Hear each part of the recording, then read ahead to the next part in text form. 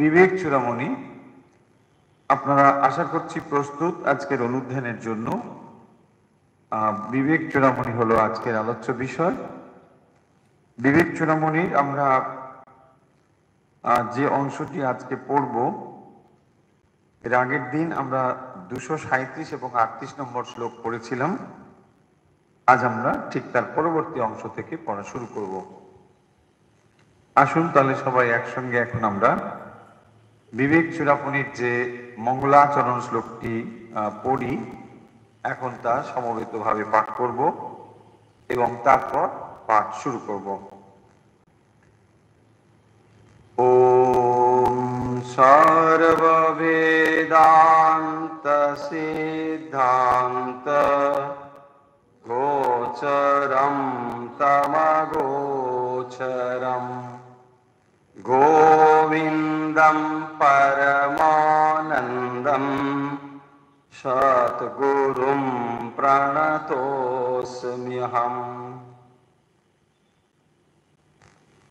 বিবেক চূড়ামণির আমরা এর আগের দিন দুশো সাঁত্রিশ এবং আটত্রিশ নম্বর শ্লোক পড়েছিলাম। বিবেক চূড়ামণির আলোচ্য বিষয় কি? আশা করছি এই বিষয়টি সম্বন্ধে আপনাদের এতদিনে নিশ্চয়ই স্পষ্ট ধারণা হয়েছে যে বিবেক চূড়ামণি আসলে কি বিষয় নিয়ে চর্চা বা আলোচনা করে। বিবেক চূড়ামণির ভেতরে যে বিষয় আলোচিত হয়, তার দ্বারা আমাদের এই বিচার এবং বিশ্লেষণ করতে শেখানো হয়, যে যাতে করে আমাদের যে জিনিসটি যথার্থ রূপে আমাদের স্বরূপ নয়, সেই জিনিসটিকে যখন আমরা আমাদের স্বরূপ বলে মনে করি এবং তার ফলেই সমস্ত জগৎ বন্ধনের হেতু হয়, তখন যথার্থ জ্ঞানের দ্বারাই একমাত্র ভ্রান্তি বা ভ্রান্ত জ্ঞানকে দূর করা যায়। সেই কারণের জন্যই আমরা যথার্থ রূপে আমাদের স্বরূপ জ্ঞান লাভ করতে পারি। তাই এর আগে আমরা বিবেক চূড়ামণির যে বিচার এবং বিশ্লেষণগুলো দেখেছি, সেখানে পঞ্চকোষের কথা তো হয়েইছে।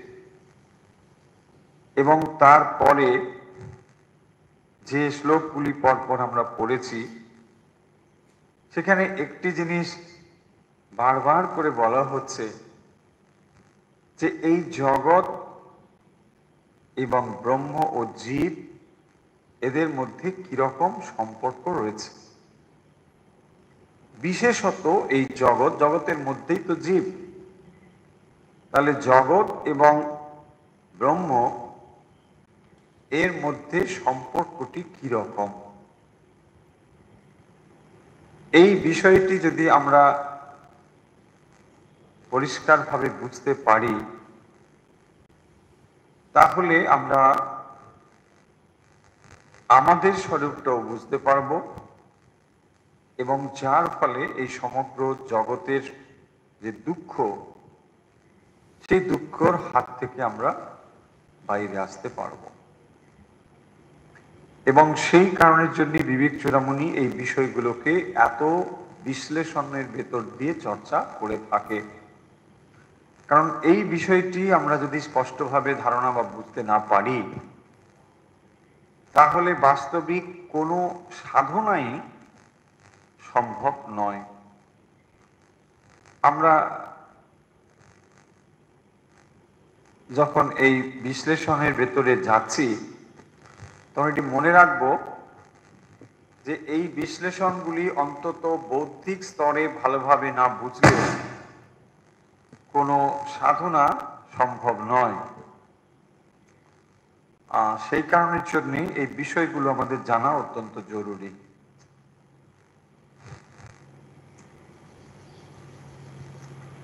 এর আগের দিন আমরা ব্রহ্মের স্বরূপ সম্বন্ধে আলোচনা করেছিলাম। দুশো সাঁত্রিশ এবং দুশো আটত্রিশ নম্বর শ্লোকে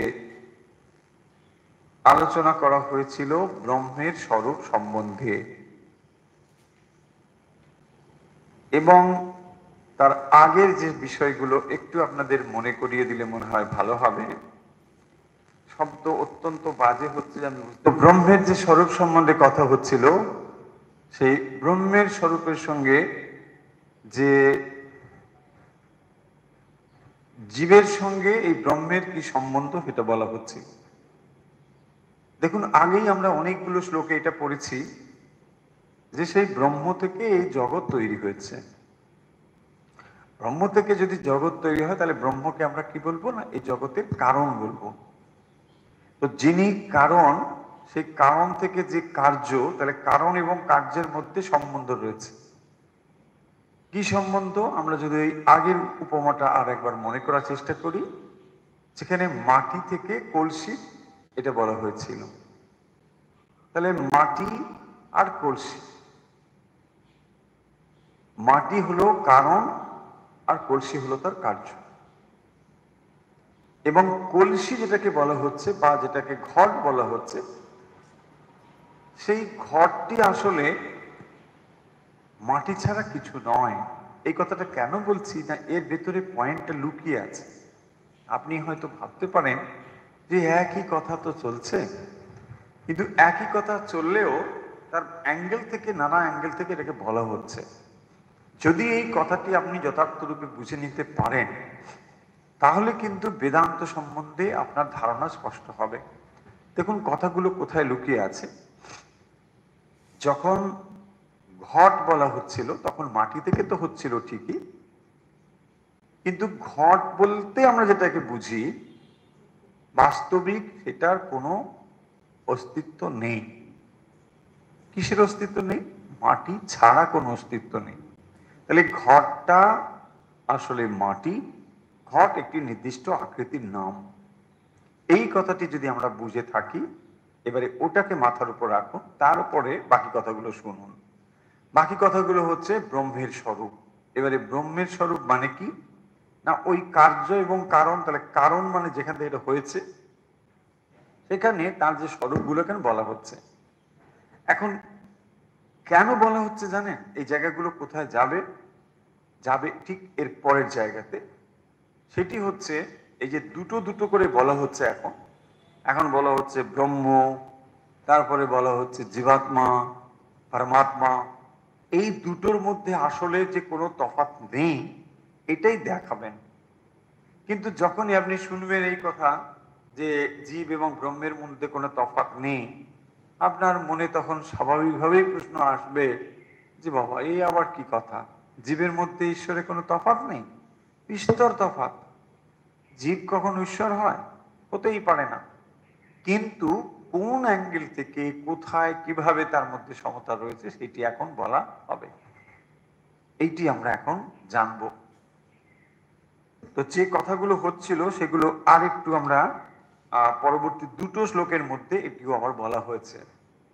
তাহলে আমরা এর আগের দিন মোট আঠেরোটি পয়েন্ট পড়েছিলাম, যেখানে ব্রহ্মের স্বরূপ সম্বন্ধে বলা হয়েছিল।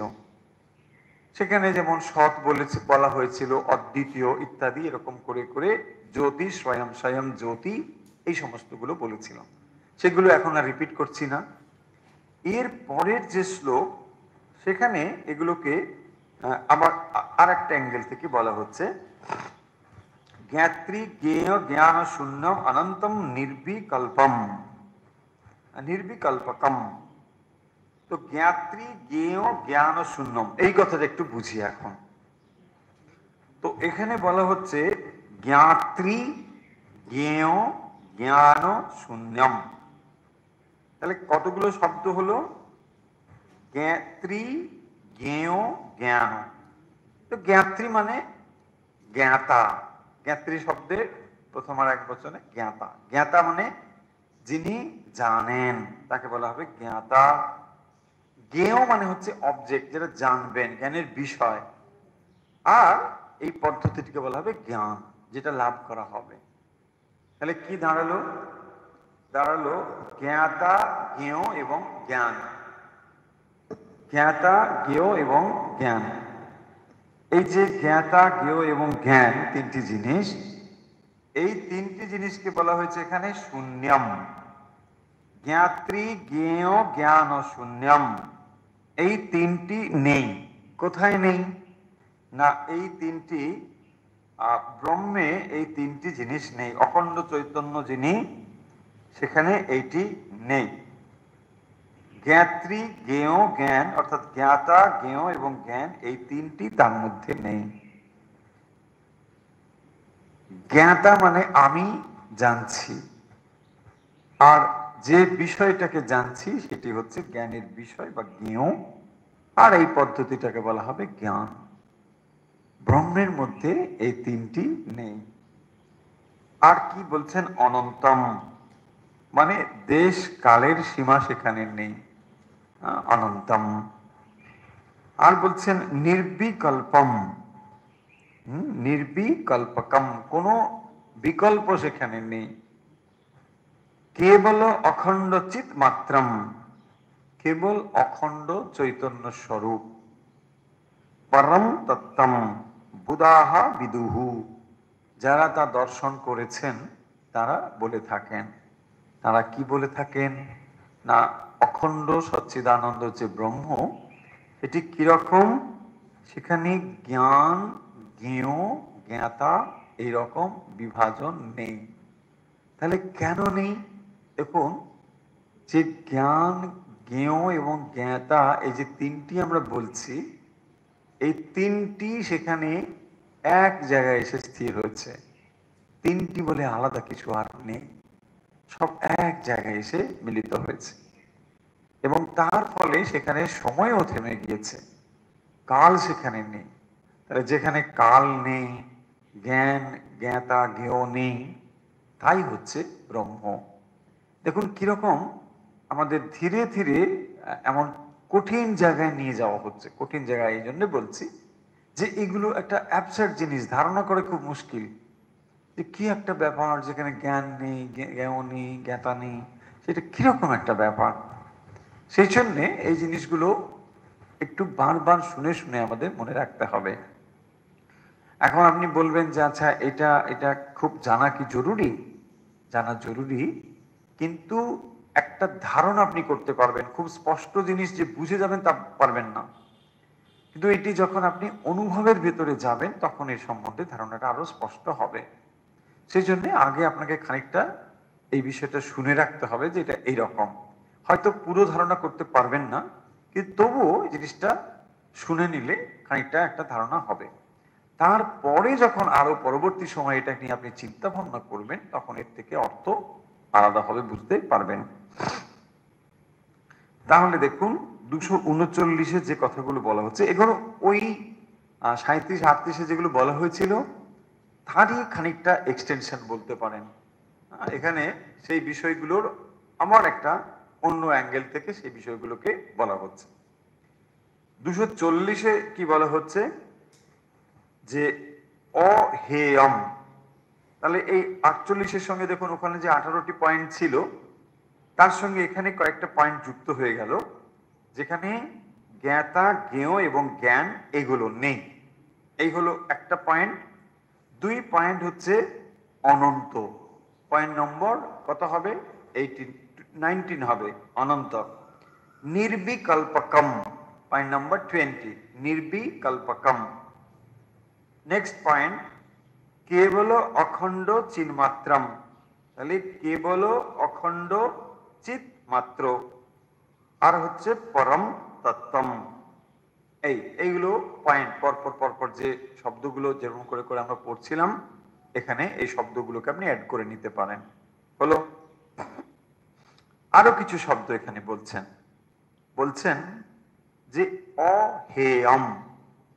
হেয় হেয় মানে কি? যেটাকে আমরা ত্যায্য বলি, তাকে বলা হেয়। একটা জিনিস যেটা আপনি ত্যাগ করতে চান, এটা ভালো নয়। আপনি তাকে বর্জন করতে চান, তাকে বলা হবে হেয়।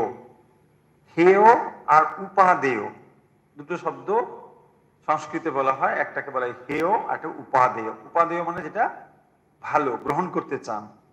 যেটা আপনি গ্রহণ করতে চান, সেটা হচ্ছে উপাদেয়। আচ্ছা এখানে কি দেখুন তাহলে বলছেন অ এ আম মানে অত্যাজ্য হ্যাঁ, অ হে আম।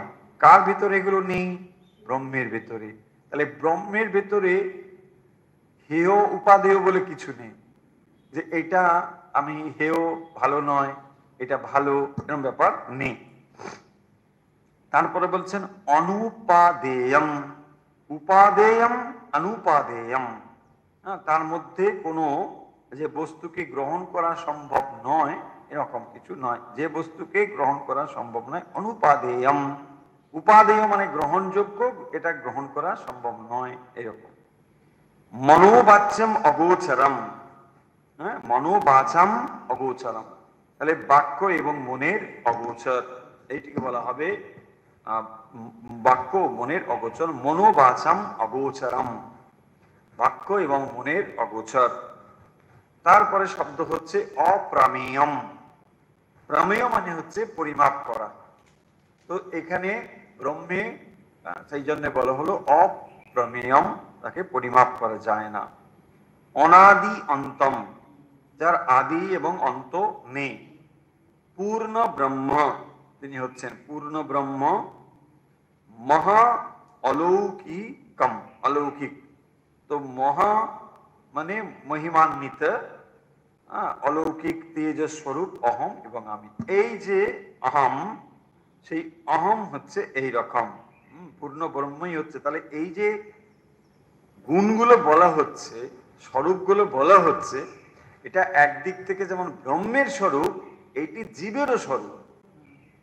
জীবেরও স্বরূপ এইটি। এখন আপনি দেখুন এই কথাগুলো বিশ্বাস করতে পারছি না হচ্ছে আমি অখণ্ড, আমি বাক্যমনির অতীত অ্যাকচুয়ালি এটাই হচ্ছে আপনার স্বরূপ বা নেচার এটাই আপনার স্বরূপ।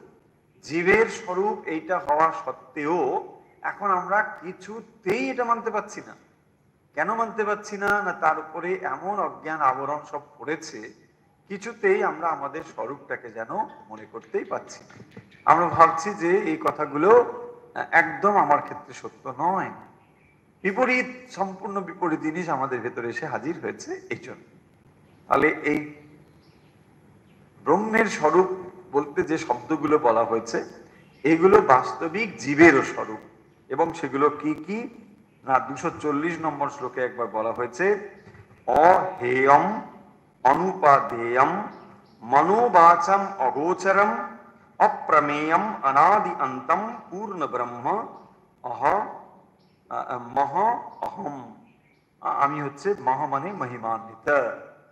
এইগুলো হলো জীবের বা ব্রহ্মের স্বরূপ। আমি, অহম।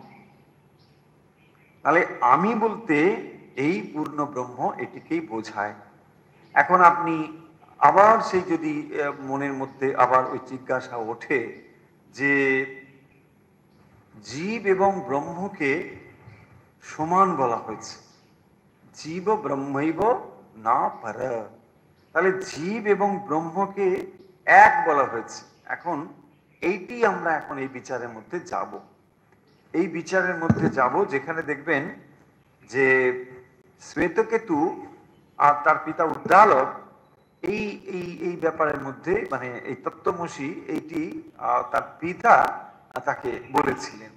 তো উদ্দালক ঋষি শ্বেতকেতুকে এই কথাটি বলেছিলেন। কীরকম না, শ্বেতকেতু ছোটবেলায় মানে একেবারে স্কুলে টুলে যাওয়া বন্ধ স্কুল তখন ছিল না, গুরুগৃহে গিয়ে পড়তে হতো। কিন্তু সেই গুরুগৃহে তিনি যাবেন না। কিছুতেই যাচ্ছেন না, অত অলস। তো তার বাবা তখন বললে দেখো, আমাদের পরিবারে কেউ এরকম মূর্খ হয়ে থাকে না। তুমি পড়াশুনো করো, তুমি যাও। তো তাকে খুবই বকাবকি যখন করেছে, সে বলল, ঠিক আছে, আমি চলে যাচ্ছি। কোথায় যাচ্ছ? না, আমি গুরুগৃহে যাচ্ছি। ভালো। তো গুরুগৃহে গিয়ে তিনি বারো বছর পড়াশুনো করেছেন। তো তারপরে ফিরে এসেছেন তো বাবা তখন বলছেন তুমি কি শিখেছো? কি পড়াশুনো করেছ? খুবই মানে একটা অহংকারী হয়ে ফিরেছে। বারো বছর পরে ভীষণ অহংকারী। সে মানে এই জানে, ওই জানে নানা কিছু বলছে আমি এই পড়েছি, সেই পড়েছি, এইসব করেছি। তো তখন বলছে যে, তুমি এমন কি কিছু জেনেছো যেটা জানলে সব জানা হয়? এরকম কিছু। বলছি এইসব ব্যাপার আমি কিছু জানি টানি না। তোমার গুরু কিছু বলেছে? না, গুরু জানে না। গুরু জানলে তো গুরু নিশ্চয়ই বলতো। গুরুও এসব কিছুই জানে না। তুমি গুরু জানে না, এসব জানে না, এসব করে টোরে ওর বাবার সঙ্গে এসব হলো টলো। তারপরে ওর বাবা তখন তাকে বলছেন যে, তত্ত্বমসি তুমি সেই। এই হলো আসল জ্ঞান। হ্যাঁ তত্তম আসি তুমি সেই। এখন এটি একটি মহাবাক্য হয়ে আছে। তত্ত্বমসি একটি মহাবাক্য। মানে তুমি সেই। অহম ব্রহ্মাস্মি তত্ত্বমসি প্রজ্ঞানং ব্রহ্ম, অয়মাত্মা ব্রহ্ম, এগুলো সব মহাবাক্য। মহাবাক্য মানে এই বাক্যগুলোর দ্বারা একটি মহান জিনিসকে প্রতিষ্ঠা করা হয়। তাহলে অহম ব্রহ্মাস্মি মানে আমি ব্রহ্ম। এখন এই যে জীব এবং ব্রহ্মের ভেতরে যে যে একত্ব, এইটি হলো বেদান্তের একটি বড় বিষয়। এবং তাকে বলা হয় মহাবাক্য বিচার। যে মহাবাক্যটিকে বিচার করে করে জীবের সঙ্গে ঈশ্বরের ব্রহ্মের যে অভিন্নতা, এটা দেখানো। জীব ব্রহ্মের অভিন্ন ভাবটা দেখানো হবে। দেখুন, কীভাবে এই জিনিসগুলো আমরা আরও একটু ধীরে ধীরে বুঝব? যে যখন বলা হচ্ছে যে একটা জিনিসের একরকম অর্থ, তখন আপনি খুব ভালোভাবে বুঝে যান। আবার যখন সেটা ঠিক ওই রকম অর্থ হয় না, তখন আপনাকে আরেক রকম অর্থ করতে হয়। কি বলতে চাইছি আমি? বলতে চাইছি, শব্দের দুরকম অর্থ হয়। একটাকে বলা হয় অভিধা অর্থ, আর একটা বলা হয় লক্ষণার্থক পক্ষ অর্থ। কীরকম? অভিধা মানে যেটা আপনার ওর মধ্যে যে যে শব্দটা রয়েছে।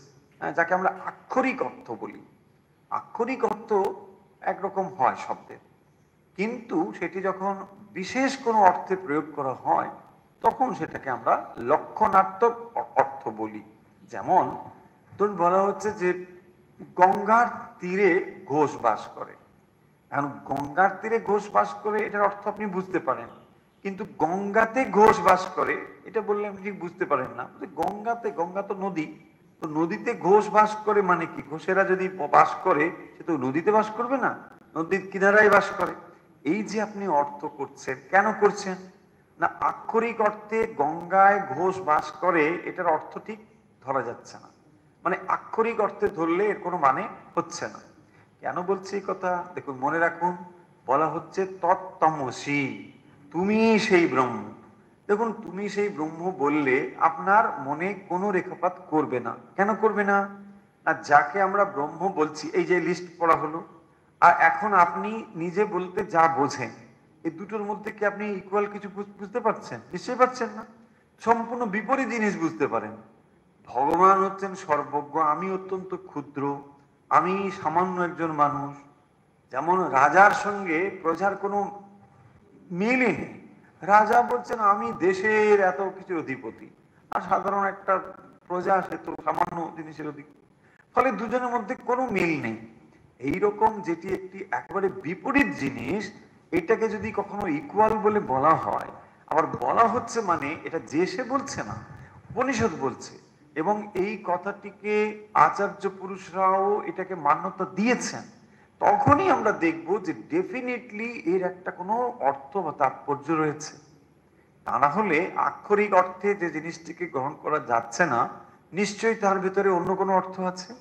সেই অর্থটিকে বলা হবে লক্ষণার্থ হ্যাঁ লক্ষার্থ। তো এই লক্ষার্থটা হচ্ছে যে উপাধি অভিধা যে অর্থ অভিধা অর্থ থেকে এটা লক্ষার্থ বা আলাদা একটা ব্যাপার হলো। তার মানে যেটি লিটারেলি যে জিনিসটি বলা হচ্ছে, এটা তার অর্থ থেকে একটু সরে এলো। তাকে অন্যভাবে একটা ব্যাখ্যা করতে হলো। কেন? তা নাহলে এর অর্থ করা যাচ্ছিল না। তাহলে এই যে কথাটি, তুমি সেই ব্রহ্ম তত্তম আসি এই কথাটির ভেতরেও যে অভিধা অর্থ, এটাকে ছেড়ে লক্ষার্থটা দিতে হবে আমাদের। তাহলে আমরা যখন যদি আক্ষরিক অর্থে ধরি যে জীব এবং ব্রহ্ম এক, এটা তো হচ্ছে না। তাই না? তাহলে নিশ্চয়ই কোনো একটা ব্যাপার কিছু থাকবে। কি করে এটা হয়? দেখুন, একদম লজিক্যালি জিনিসটাকে এস্টাবলিশ করা হয়েছে। এত সুন্দরভাবে বেদান্তে লজিক্যালি জিনিসটাকে দেখানো হয়েছে যে মানে এটা অন্য কোথাও আপনি এত সুন্দর করে ভাবেন না। এটা এখানেই রয়েছে। যেমন যখন বলা হয় না যে, এ, বি সমান সমান BC A, B is equal to BC সমান A is equal to C. হয়ে গেল না? বিটা ওখান থেকে হলো এর সঙ্গে বি কমন ওর সঙ্গে B common so A is equal to C exactly এইরকম ভাবে এটা হয়েছে। কীরকম? তাহলে যখন বলা হচ্ছে জীব আর ব্রহ্ম, আমরা যদি পাশাপাশি লিখি, ধরুন ব্রহ্ম আর এদিকে জীব, এই দুটোকে আমি এক কি করে করব। বলা হচ্ছে জীব এবং ব্রহ্ম একই। কিন্তু ব্রহ্মের স্বরূপটা একটু আগে আমরা পড়লাম। আর জীবের স্বরূপ মানে আমরা যারা শুনছি, যারা বলছি, সব ওই জীব বলতে আমরা যা বুঝি, সেটাই আমরা। এখন সেই জীবের সঙ্গে এই যে কথাগুলো বলা হলো, কোনোটা কি মেলে? কোনোটাই মেলে না। এখন তাহলে প্রশ্ন হবে, কি করে আমরা মিলবো? মিল দেখব কি করে? এখানেই একটা ব্যাপার নিয়ে আসা হবে। তাকে বলা হয়েছে উপাধি। উপাধি।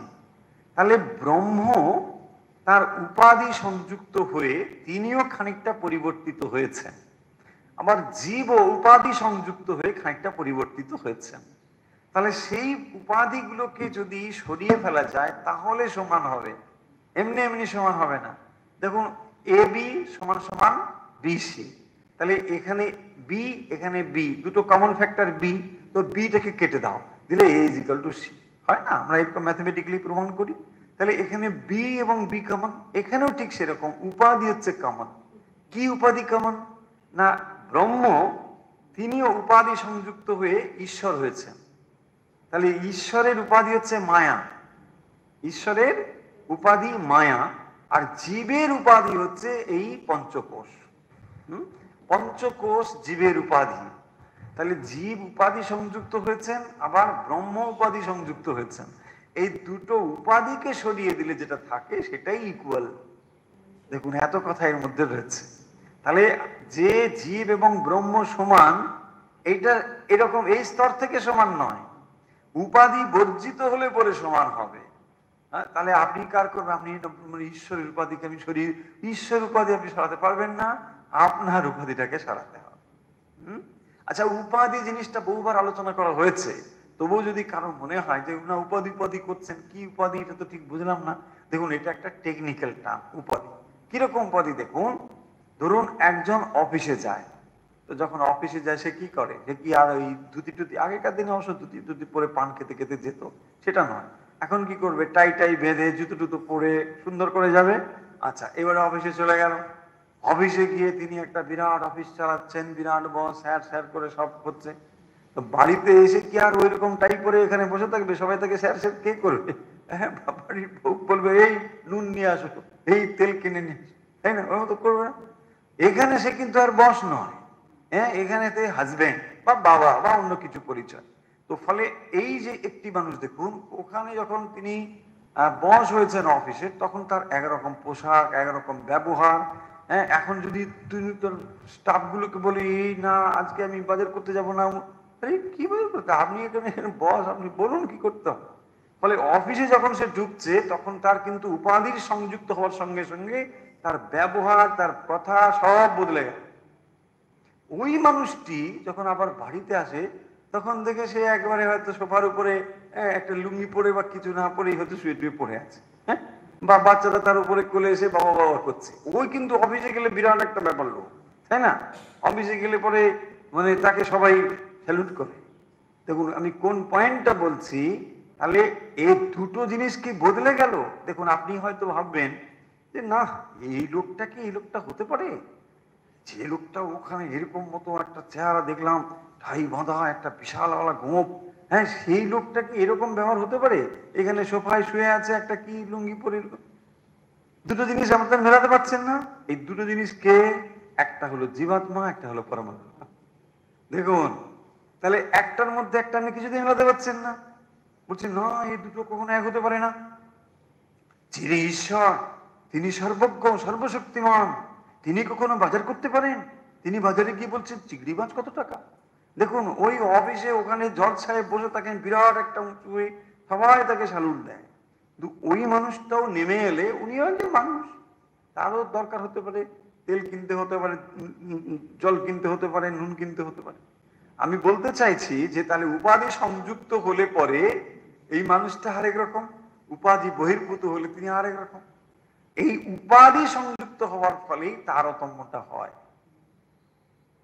তাহলে যখন ব্রহ্ম উপাধি সংযুক্ত হয়ে ঈশ্বর হলেন, আর মানুষ উপাধি সংযুক্ত হয়ে জীব হয়ে গেল মানে জীব তার মধ্যে উপাধি সংযুক্ত হয়েছে জীবভূত হলো, এই দুটো উপাধি যখন সরিয়ে দেওয়া যায়, তাহলে দুটোর মধ্যে কিন্তু ইকুয়ালিটি আছে, দুটো একই জিনিস হয়ে গেল।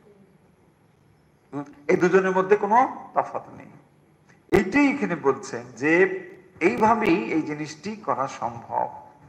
তাহলে দুটোর মধ্যে এইখানে এই যে তফাতটা রয়েছে এই কারণের জন্যই তফাত যে যেখানে এই এই দুটো হ্যাঁ মানে উপাধি সংযুক্ত হয়ে রয়েছে। এই পয়েন্টটা আমাদের ভালো করে বুঝে নিতে হবে যে উপাধি থাকার ফলে দুটো জিনিসের মধ্যে তফাতটা হচ্ছে। তাহলে উপাধি বর্জন করলে পরে, দেখুন, জীবের জীবত্বটাও একটা উপাধি। এরকম অসংখ্য উপাধি রয়েছে। সেই উপাধিগুলোকে এক এক করে বর্জন করলে পরে, এখন আপনি প্রশ্ন করতে পারেন, উঠতে পারে প্রশ্ন যে আচ্ছা এই যে উপাধিগুলোকে সরাতে বলছেন, তাহলে উপাধি সরিয়ে দিলে আমি যে স্বরূপত ব্রহ্ম, তো সেটাও তো তাহলে চলে যাবে? না, সেটা চলে যাবে না। উপাধিগুলো সরিয়ে গেলে পরে যেটা থাকে সেটাই থাকবে। হ্যাঁ? তাহলে আপনি যেটা ওটাই থাকবেন। যেটা আপনি নয়, সেটাই আপনি সরাতে পারবেন। যেটা আপনি সেটা কখনোই সরাতে পারবেন না। তাহলে উপাধি মানে যেটা সংযুক্ত করেছেন but you are not that যেটা আপনার নয়, সেটাই আপনি সরাতে পারবেন। তাহলে এই যে আমরা ধ্যান করার সময় বলি, আপনি মন নয়, চিন্তা করুন, আপনি দেখি না মানে এগুলো উপাধি। সেই উপাধিগুলোকে এক এক করে সরাতে বলা হয়। এর পরে যেটা থাকবে সেটাই আপনি। এগুলো চলে গেলে পরে যেটা থাকবে সেটাই আপনি। এখন আমরা এটা বুঝতে পারি না বলে ভুল করে আমরা আমাদের স্বরূপ বলে যেটাকে ভাবি সেটা আসলে উপাধি সংযুক্ত হয়ে। তাহলে উপাধি জিনিসকে কি করে আসলে? মূল জিনিসকে সীমিত করে উপাধি। দেখুন, যে মানুষটাকে একটু আগে আমরা যে উপমাটা নিয়েছিলাম, যে মানুষটি অফিসে বস। অফিসে বস, তিনি তার সম্পূর্ণ মানে যে অস্তিত্ব, তার সামান্য অংশে হচ্ছে তিনি বস। তার ভেতরে আরও অনেক দিক আছে। তিনি অফিস, বাড়িতে যখন এসে একরকম তার রূপ এটাও তার সম্পূর্ণ রূপ নয়। এরকম অনেক কিছু রয়েছে। তার মানে উপাধি লিমিট করে, অর্থাৎ জিনিসটাকে ছোট করে দেয়। যে কোনো উপাধি পূর্ণ জিনিসকে ছোট করে দেয়। তো সেটাই করে। তাহলে মানুষের যখন এই উপাধিগুলো সম্পূর্ণভাবে চলে যায়, তখনই দেখবেন সে সত্যিকারের যে তার স্বরূপ মানুষ, সেটাই সে হয়। এবং এইটি এখানে বলা হয়েছে যে দুশো একচল্লিশ এবং বিয়াল্লিশ নম্বর শ্লোকে এই কথাগুলো বলা হয়েছে। তত্তম পদাভ্যাম অবিধীয়মানয়োর ব্রহ্মা আত্মনা শোধিতয়োর যদিত্থম শ্রুত্যা তয়োর তত্ত্বমসীতি সম্যক একত্তমেবং প্রতিপদ্যতে মুহু হ্যাঁ এখানে এই বিষয়গুলো বলছেন যে জাত যে জন্য তত্ত্বমসী ইতি শ্রুত্যা তত্ত্বমসী ইতি মানে এই শ্রুতি বাক্যের দ্বারা ইথম তত্তম পদাভ্যাম, তৎ এবং তম, এই দুই পদ থেকে তয়োহ অভিধীয়মানহ মানে লক্ষিত ভাবযুক্ত শোধিতয়োহ শোধিত ব্রহ্ম আত্মন, ব্রহ্ম এবং আত্মার জীবাত্মার সম্যক একত্তম, সম্পূর্ণ একত্বই প্রতিপাদ্যতে মুহু বারবার প্রতিপাদিত হয় বা হচ্ছে। তাহলে এখানে যে জিনিসগুলো বারবার করে বলা হচ্ছে, আমাদের শুনে শুনে মনে হবে যে একই কথা বারবার বলছেন, কিন্তু এই এক কথা বলবার পেছনে তাহলে আমরা নিশ্চয়ই বুঝতে পেরেছি যে কারণটা কি। কারণ হচ্ছে এর ভেতরেই লুকিয়ে রয়েছে আমাদের এই জগৎ সংসারের সঙ্গে যে আমরা সম্বন্ধযুক্ত হয়ে যে দুঃখটা অনুভব করছি, এর কারণ কিন্তু এটাই। এখানেই রয়েছে যে আপনি স্বরূপত যা সেটা না হয়ে আপনি অন্য জিনিসকে যখন নিজের স্বরূপ বলে ভাবছেন বা বুঝছেন, তখনই আপনার ভেতরে এই অজ্ঞান মানে মোহ কাজ করছে। সেই কারণের জন্য নিজের স্বরূপটিকে জানা অত্যন্ত জরুরি এবং নিজের স্বরূপটি কি এই একটু আগে এগুলো বলা হয়েছে। সেই জিনিসটিকে কি করে আমরা জানতে পারব? না, তত্ত্বমসী এই মহাবাক্যের বিচারের দ্বারা। এটি হচ্ছে একটি শ্রুতি বাক্য একটু আগেই সেটা বলা হলো। এই শ্রুতি বাক্যটিকে শোধন বলা হয় তত্তম শোধন। তো তত্তম শোধন মানে তৎ পদার্থ এবং তম পদার্থের মধ্যে শোধন। তম তৎ কি? তৎ মানে হলো দ্যাট, তৎ মানে হলো সেই পরব্রহ্ম। আর তম মানে হচ্ছে জীবাত্মা। তাহলে এই জীবাত্মার সঙ্গে ব্রহ্মের একত্ব, কি করে একত্ব? না, ব্রহ্মের এবং জীবাত্মার সঙ্গে একত্ব আপাত যে বিপরীত দুটো জিনিস আপাত ভাবে বিপরীত। কারণ একটা ঈশ্বর তার মধ্যে এই সমস্ত জিনিসগুলো বলা হয়েছে, যে গুণাবলীর কথা বা ব্রহ্মের মধ্যে যে জিনিসগুলো রয়েছে, তাহলে ব্রহ্মের মধ্যে যে জিনিসগুলো মানে যে গুণাবলীগুলো বলা হলো, আর জীবের মধ্যে রয়েছে তার সৎ বিপরীত সম্পূর্ণ বিপরীত। হ্যাঁ এখানে বলা হচ্ছে অসীম, এখানে হচ্ছে সসীম হ্যাঁ তিনি সর্বজ্ঞ ইনি অল্পজ্ঞ হ্যাঁ তো এই যে সর্বব্যাপী এই লিমিটেড সামান্য, ফলে এই যে বিপরীত জিনিসগুলো রয়েছে এইগুলোর সঙ্গে তাহলে কি করে সমত্ব থাকতে পারে? প্রশ্ন আসবে।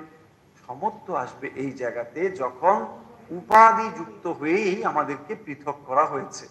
দেখুন, আসলে লোকটি এক। শ্রীরামকৃষ্ণ উপমা দেখুন। শ্রীরামকৃষ্ণ বলছেন, একটি লোক যখন বাগানের কাজ করে, তাকে বলা হয় মালি। ওই লোকটি যখন রান্না করে, তাকে রান্নার ঠাকুর। বা অন্যত্র যখন অন্য কাজ করে, তাকে অন্য নাম বলা হয়। কিন্তু উপাধি সংযুক্ত হলে পরে একটি মানুষের নানা রকম কাজ, নানা রকম ব্যবহার। বলছেন, যদি কেউ কালো পেরে ধুতি পরে নিদুর টপ্পা এসে যাবে, বলছেন, সিঁড়ি দিয়ে যদি যায়, বুট জুতো পরে শীষ দিয়ে মানে চলবে আর হাটকাট বুট বলবে এইসব রয়েছে। তার মানে কি? মানে হচ্ছে উপাধি সংযুক্ত হওয়ার ফলে তার ব্যবহার, তার আচরণ, তার কথাবার্তা সবই বদলে যায়। তাহলে উপাধি বর্জন হলে পরে তখনই দেখা যাবে দুটো মানুষের মধ্যে এক। তার মানে দেখুন, যখন আমরা যদি আগের এক্সাম্পলে আবার ফিরে যাই, যে মানুষটি ওখানে সাহেব সেজে অফিসে গিয়েছিল, তাহলে ওর ওই যে সাহেব হওয়া, এটা তার উপাধি। তাহলে সাহেব উপাধিটা বাদ দিন। হলো, তাহলে লোকটা সাহেব উপাধি বাদ দিলেও লোকটা আছে। বেশ, এবারে ও বাড়িতে ফিরে এসে অমুকের বাবা হয়েছিল। তাহলে অমুকের বাবা হওয়াটা তার বাদ দিন। দিলেও সে লোকটা আছে। তাহলে এবারে দেখুন, ওই অফিসের বস সাহেবটা বাদ দিলে পরে যে লোকটা হয়, এখানে বাবা বাদ দিলে যে লোকটা হয়, বা স্বামীর কাছে বা পত্নীর কাছে তিনি যখন স্বামী, ওটা বাদ দিলেও যা দাঁড়ায়, এই লোকগুলো সব এক কিনা তাই না? সবই তো একটাই লোক, কিন্তু সেই লোকটা আমার ওখানে যখন বসে একরকম, এখানে বসে একরকম, তাহলে এই যে উপাধিগুলো এক একটা জিনিসকে তফাত করে দেয়। তাহলে উপাধিগুলো যদি আমরা বর্জন করি, তাহলে নিশ্চয়ই সেই লোকটি এক হয়ে যাবে। এক্স্যাক্টলি এটাই। তাহলে আপনি, আমি এই যে এত আলাদা আলাদা ব্যক্তিত্ব বলে মনে হচ্ছে, আসলে কিন্তু উপাধির ফলে এগুলো হচ্ছে। একটাই লোক দেবেন স্কুলে গেলে একরকম হয় অফিসে গেলে সে আর রকম পাড়ায় গেলে একরকম, ওখানে গেলে একটা মন্দিরে গেলে একরকম, নানা জায়গায় নানা রকম। কেন না আপনি ওইরকম ওইরকম ভাবে নিজেকে বুঝিয়েছেন? দেখো, এটা হচ্ছে মন্দির। আমি এখন এখানে এইরকম ব্যবহার করব। আমি ওখানে গেলে পরে ওরকম হব। ওখানে গেলে আমি আর আস্তিন গুটিয়ে ঝগড়া করব। ওখানে গেলে এরকম সব ঠিক করা আছে না? সেই জন্য আপনি এক এক জায়গায় বলছে, মন্দিরে না আস্তিন গুটিয়ে ঝগড়া করা যাবে না। এখানে একটু শান্ত থাকব কিন্তু ওখানে চলো, দেখাচ্ছে। মানে দেখুন, তার মানে প্রত্যেকটা জিনিসের সঙ্গে প্রত্যেক জিনিস রিলেট করা আছে। এবারে আপনি দেখুন, এই যে আজ উপাধি সংযুক্ত হলে কি হলো? শুধু উপাধি সংযুক্ত হয়ে আপনি যে ব্যবহার করছেন তা না। ব্যবহার মানে তার কর্ম এবং কর্ম, কর্মফল ওর সঙ্গে যুক্ত হচ্ছে কিন্তু। তাহলে উপাধি সংযুক্ত হওয়ার ফলে দেখুন কীভাবে আপনার এই চক্রটি ঘোরা মানে সম্ভব হচ্ছে এটা নিশ্চয়ই বুঝতে পারছেন। যখনই আপনি একজনের বাবা হয়েছেন, এটা একটা উপাধি। আচ্ছা তাই বাবা হলে আপনার নিশ্চয়ই কিছু কর্ম আছে, কর্তৃত্ব আছে যে আমাকে করতে হবে, বাবা হিসাবে। করেছেন। সেটা যখন করেছেন, সেটা ভালো হতে পারে, মন্দ হতে পারে, তার ফল হতে পারে, সেই ফলগুলো এসে হাজির হচ্ছে। আচ্ছা ওখানে আপনি বাবা হয়েছিলেন। এখানে আপনি এসে স্বামী হয়েছেন। তো সেই স্বামীরও কিছু কর্তব্য দায়িত্ব রয়েছে, সেগুলো আপনি ভালো করেছেন, মন্দ করেছেন, তারও কিছু ফল রয়েছে, সেই ফলগুলো হচ্ছে। ওখানে আপনি অফিসের বস ছিলেন, তারও কিছু কর্তব্য হয়েছে, ভালো হয়েছে, মন্দ হয়েছে, এই রকম করে এক একটা খাতা খোলা হয়েছে। সমস্ত এক একটা অ্যাকাউন্ট তাই না? তাহলে এবার ধরুন কত অ্যাকাউন্ট আছে আপনার? হম? আমি বলছি, না, আমার তো একটা ব্যাংকে অ্যাকাউন্ট এসবিআই না এইগুলো সব আলাদা আলাদা অ্যাকাউন্ট হ্যাঁ? ওই জন্য দেখবেন গানে বলে যে একটা মানুষের ভেতরে বাস করে কতজনা এসব গান আছে। মানে কতজন আছে তোমার ভেতরে? অনেকজন আছে। এই অনেকজন মানে অনেকগুলো উপাধি। যতগুলো উপাধি আপনি ততগুলো মানুষ। আর যতগুলো উপাধি, সেই অনুযায়ী আপনার ব্যবহারটাও চেঞ্জ হয়ে যাচ্ছে। আর সেই অনুযায়ী তার কর্ম, কর্মফল সব অ্যাকাউন্ট আলাদা আলাদা। এবারে সমস্ত অ্যাকাউন্ট যখন আলাদা আলাদা, তার কর্ম, তার কর্মফল, এবারে ভাবুন কত বিশাল একটা মানে খতিয়ান তৈরি হচ্ছে। বিশাল একটা অ্যাকাউন্ট তৈরি হচ্ছে। তার ব্যালেন্স শিট তার ভাউচার হ্যানা তেনা, বিশাল ব্যাপার। আপনি নিজেও হিসেব রাখতে পারবেন না। কি করে যে ভগবান হিসেব রাখে, এটি একটা বিরাট ব্যাপার। মানে ভগবানের মেমোরি সাংঘাতিক, তা নাহলে হিসেব রাখা পারতো না। তাহলে কারটা কার ঘাড়ে হয়ে যাবে? এ পর্যন্ত এরকম খবর তো নেই। যে কারোরটা কারও ঘাড়ে হয়ে গেছে বলে। হম? কারও ঘাড়ে হয় সব ঠিক করে। যমরাজ খাতা আছে। ওখানে সব চিত্রগুপ্ত সব লিখে রাখে। হ্যাঁ? পুরো পুরো সব মোটা মোটা হিসেবের খাতা। এক একজনের সব বিশাল বিশাল ফাইল। এই হচ্ছে ফাইল। তার মানে ওখানে সব উপাধিগুলো আলাদা আলাদা হওয়ার ফলে আপনার কর্ম, কর্মফল সব পৃথক হচ্ছে। এবার দেখুন, এইগুলো থেকে যদি আপনি সব একটা একটা করে মুছে ফেলেন তাহলে আপনি টোটালি ফ্রি হয়ে গেলেন তো। দেখুন, মুক্তির জিনিসটা আপনি নিজেই ধারণা করতে পারবেন যে আসলে মুক্তি কি। দেখুন, যখন আপনি সারাদিন একটা দিন নিয়ে হিসেব করুন, লম্বা বড় হিসেব করলে না মাথা টাথা গুলিয়ে যাবে। একটা দিনের হিসেব করুন। ধরুন, আপনার সকালবেলা উঠে আপনার একটা রেসপন্সিবিলিটি আছে, এটা আপনি করেন। তখন ওই রেসপন্সিবিলিটিটা কেন করেন? ধরুন, আপনি ছেলে খবর নেন। কথার কথা, একটা এক্সাম্পল হিসেবে বলছি। তো তখন আপনি মা হয়ে গিয়েছেন। ফলে মা হলে আমার ছেলের খবর নিতে হবে, এই করতে হবে, বা ছেলেকে খাবার দিতে হবে, মুখ করতে হবে। তাহলে যদি আপনি এই উপাধিগুলো থেকে সরে আসতে পারেন, এখন প্রশ্ন আপনি করবেন, উপাধি থেকে সরা মানেটা কি? তাহলে আমার দায়িত্বটা কেটেই যাবা? না না না তা বলা হচ্ছে না। বলা হচ্ছে যে এটাকে আপনি অন্তত ইন্টেলেকচুয়ালি বুঝুন যে উপাধিগুলো থেকে আপনি যদি সরে আসতে পারেন, তাহলে কি হচ্ছেন আপনি? দেখুন, আপনি উপাধি সংযুক্ত হয়ে আপনি সাম্বডি হয়েছেন। যখন আপনি উপাধিগুলোকে সরিয়ে দেবেন জাস্ট উইল বিকাম নোবডি একদম নোবডি আর নোবডি হলে আপনার আর কোনো রেসপন্সিবিলিটি নেই, কোনো দায়িত্ব নেই ইউ আর টোটালি ফ্রি যখন আপনি সাম্বডি হয়েছেন, বাবা হয়েছেন, বলছে, আমি বাবা, কিন্তু আমি একটু এখন বসে বসে হরিনাম করব। না না না যাও, দুধ কিনে নিয়ে আসো। Has a father you can't deny it you have to করো যাও। কেন তুমি তাহলে বাবা হয়েছো কেন? সঙ্গে সঙ্গে প্রশ্ন আসবে। তারপর যদি বলছে, না, তুমি কে? না, আমি স্কুলের হেডমাস্টার আরে হেডমাস্টার তো স্কুলে যাও না কেন? বলছে, না, আমার যেতে ভালো লাগে না। আরে, ভালো লাগে নাকি যাও স্কুলে। মাস্টার স্কুলে যাবে না কেন? ছাত্র যেতে পারে, না যেতে পারে। কিন্তু মাস্টার যেতে হবে। চলো, যেতে হবে। দেখুন এক্স্যাক্টলি উঠে। ফলে টিচার হিসেবে তোমার রেসপন্সিবিলিটি আছে, তোমাকে করতে হবে। অফিসে তোমার অফিস বস হিসেবে তোমার রেসপন্সিবিলিটি তোমার করতে হবে। সো তোমার রেসপন্সিবিলিটিটা ডিপেন্ড করছে তোমার উপাধি যুক্ত হওয়ার ফলে। যখনই উপাধিগুলো থেকে তুমি মুক্ত হয়ে যাবে, বাস ইউ আর টোটালি ফ্রি তোমার আর তখন কিছু নেই। তখন তোমার আর কিছু নেই। সেই জন্যে অন্তত মেন্টালি আপনাকে উপাধিগুলো যে আপনার বন্ডেজ এটা আপনাকে বুঝতে হবে।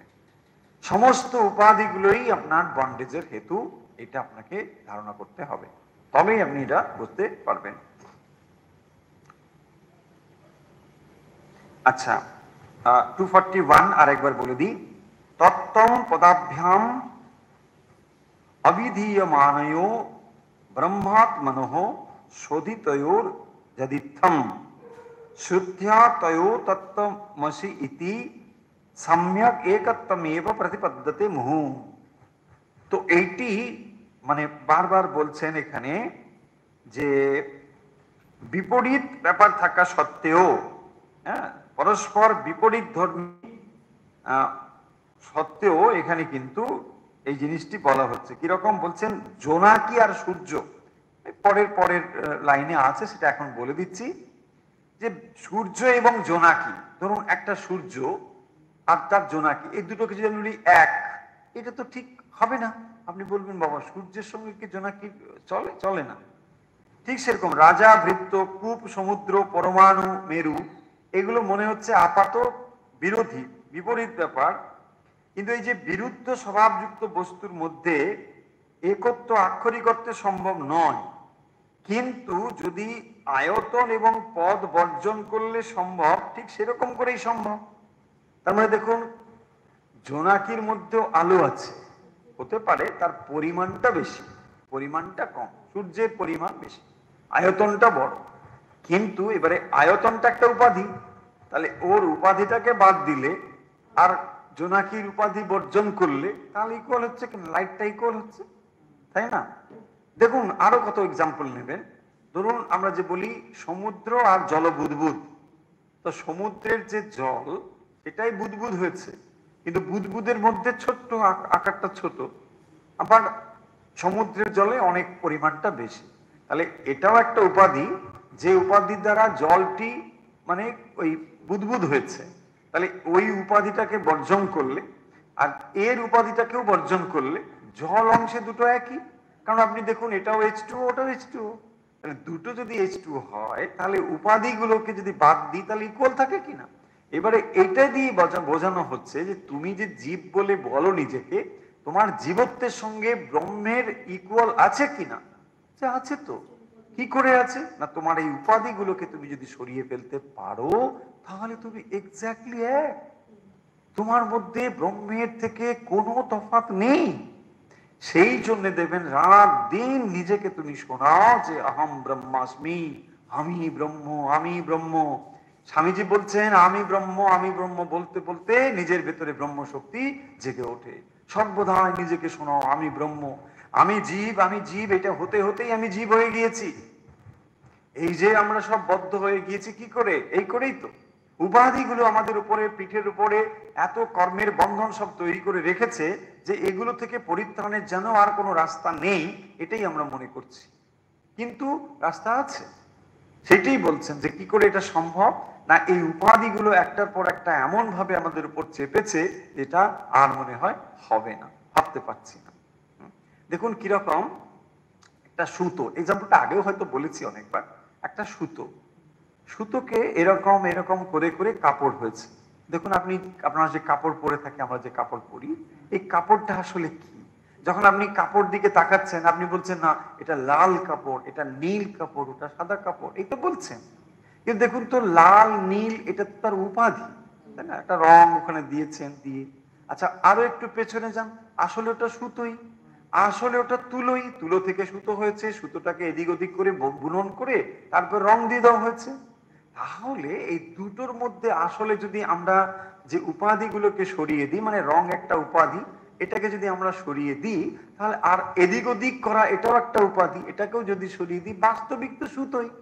তাহলে দেখুন, কাপড় আপনি যেমনই হোক না কেন, সেটা তো সুতোই। তাই না?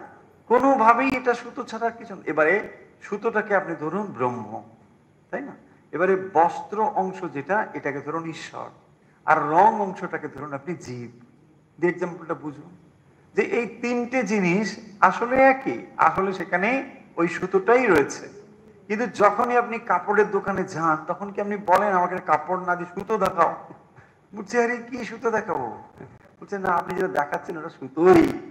হ্যাঁ? বলছে, না না না, এটা সুতো না, এটা একটা কাপড়, এটা অমুক অমুক নাম তার, অমুক কি সব নাম আছে, এসব বলবে। বলছে, না না, এসব নয় ভাই, আমি পড়ে এসেছি, এটা সুতোই। দেখুন, বাস্তবিক ওটা সুতোই।